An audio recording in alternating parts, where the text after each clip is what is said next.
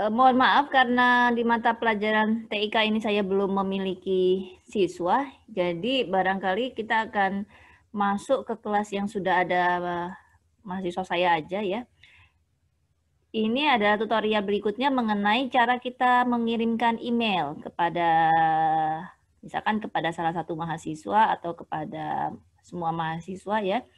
Secara japri ataupun ini kita bisa misalkan gini kalau kita mau mengemailkan semua mahasiswa, semua siswa, maka kita hanya tinggal klik ini saja atas, lalu kemudian kita apa namanya kirimkan email ke seluruh siswa.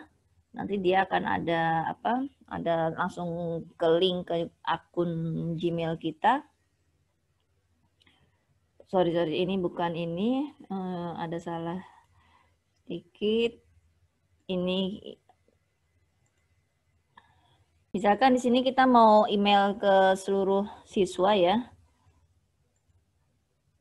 Uh, seluruh siswa misalkan uh, itu kita hanya tinggal klik aja seluruhnya lalu kemudian dia akan aktif lalu kita bisa klik email di sini nanti dia akan ke link ke akun email Gmail kita gitu ya nah nanti kita tinggal subjeknya apa misalkan Eh, pengingat tugas gitu ya, pengingat tugas. Nanti isinya tinggal dijelaskan di sini eh, apa yang mau di apa apa yang mau diberikan kepada mereka gitu. Tapi saya sering kali hanya pada di menu home-nya aja.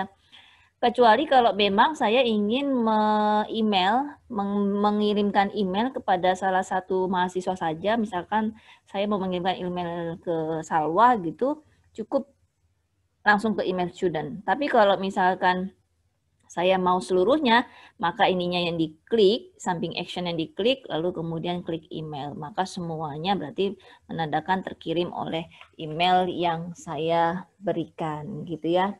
Lalu kemudian selain itu, kita akan belajar juga kalau misalkan mahasiswa siswa itu belajar tentang eh, bagaimana cara mengomentari eh, komen, komen kelas ya, dapat memberikan komentar atau bertanya kepada guru, eh, baik di posting di bagian stream maupun classwork. Nah, ketika kita mau mau apa namanya, kita kembali lagi, mohon maaf, kita kembali lagi ke menu eh, teknologi informasi dan komunikasi tadi yang sudah saya buat, lalu kemudian kita klik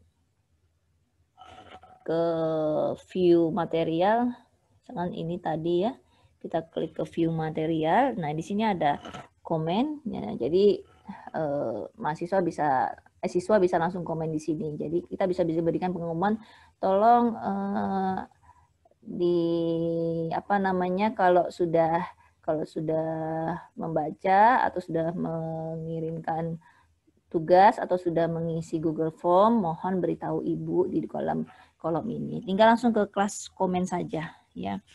Ini akan membuat uh, materi ini tidak hanya kumpulan materi saja, tetapi ada interaksi setelah materi ada interaksi antara guru dengan siswa. Lalu kemudian kita berikutnya adalah tutorial mengenai membuat serta menilai assignment atau membuat atau mengevaluasi ya, membuat evaluasi atau melakukan penilaian.